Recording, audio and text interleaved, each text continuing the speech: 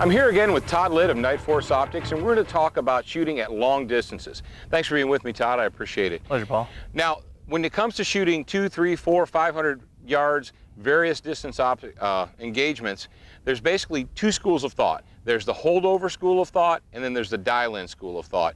What are some of the advantages from one to the other? Uh, the biggest advantage you're going to get from holdover is usually speed. Uh, you're going to gain precision when you dial, but you're going to have speed on your side when you're using a ballistic drop compensated reticle or a holdover, knowing your dope. Now, we use the term DOPE as an acronym. That stands for data, data of prior engagement or data on personal equipment. So a lot of people don't know there's, a, there's an acronym attached to that saying. So when we talk about dope, you're going to have holdovers. The guy's going to use a mil dot reticle, and he's going to know his holdover points for every mil dot so that he can accurately hold. And then we've got the ballistic drop compensated reticle, like our Velocity 1000 reticle. Uh, that one's predetermined and marked all the way out to 1,000 yards in 100-yard increments with 25-yard hash marks in between.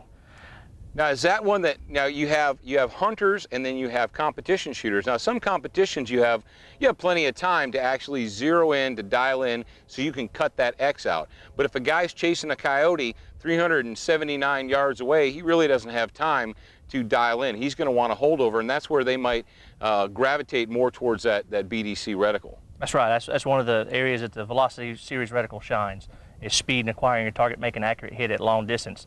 Uh, you can match that reticle to your ballistic profile, give us the information, and we can assign the specific reticle. There's multiple reticles. There's not just a one-size-fits-all reticle of a Velocity Series reticle. So we can take that information and supply you with the correct reticle.